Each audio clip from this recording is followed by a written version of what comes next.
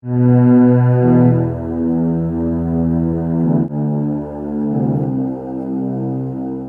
United States Army Corps of Engineers and the U.S. Department of Agriculture are working together to slaughter thousands of cormorants who live on East Sand Island off the coast of Washington State and Oregon.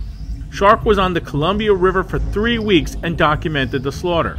You can watch our previous videos about this on the following links. The excuse the Army Corps has given for killing cormorants is that the native birds are eating salmon and that in order to save these protected fish, the birds must die. In this video, we will tear that fallacious argument to shreds and expose how cormorants are being slaughtered because of government failure, ineptitude, and scapegoating. According to the U.S. Fish and Wildlife Service, quote, the colony at East Sand Island has remained relatively stable since 2004. Having a stable population for 12 years means that the cormorants are existing within the biological carrying capacity of East Sand Island. They are not overpopulated. The Army Corps owns and operates 12 of the 14 facilities that comprise the federal Columbia River power system. These dams are the true reason why salmon are being killed on the river.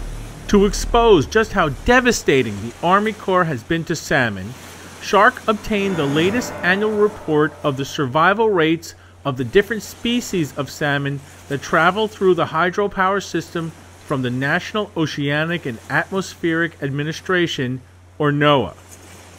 The following are NOAA estimated survival rates. The numbers are horrifying.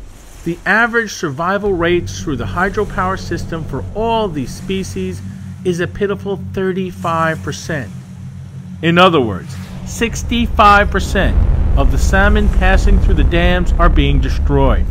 If that wasn't bad enough, there's the issue of delayed mortality where salmon going through the system are harmed and less likely to survive in the long run. Not only are tens of millions of juvenile salmon being killed by the hydropower system every year, the damage these fish incur just passing through the dams may result in the death of untold others. On top of being cruel and wasteful, the Army Corps' killing of cormorants will do nothing to help salmon.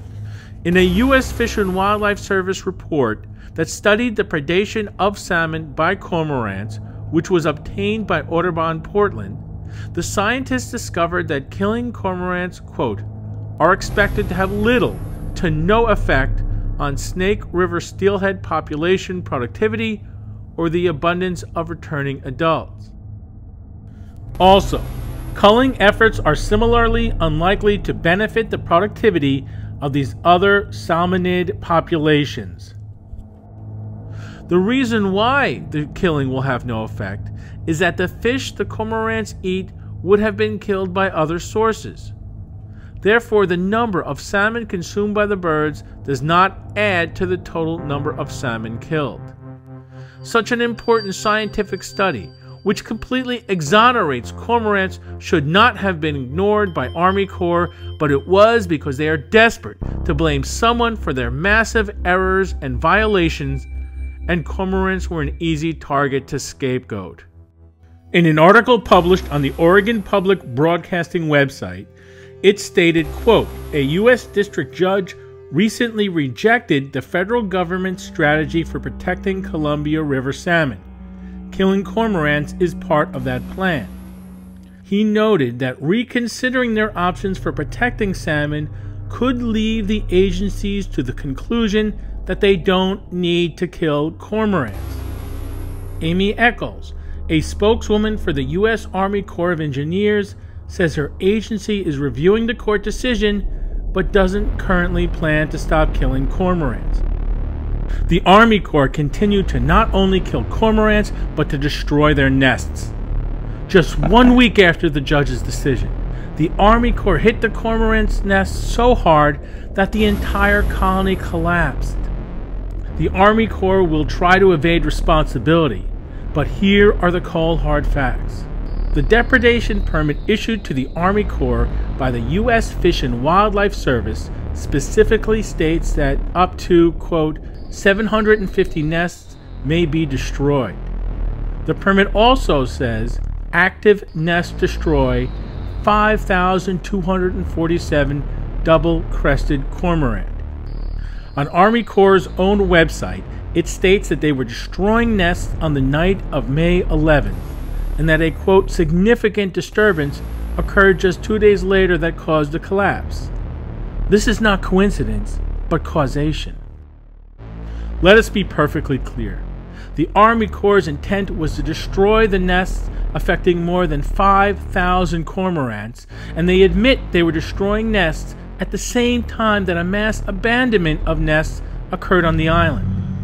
It is without question that Army Corps and their thugs for hire, USDA's Wildlife Services, are responsible for this travesty and they must be held accountable for this disaster.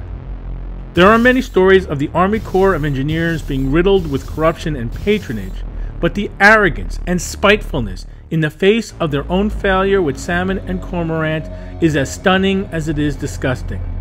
The Army Corps knew they didn't have to kill cormorants, but they didn't care. Because of that pompousness and their incompetence, the entire colony of cormorants has suffered catastrophic loss.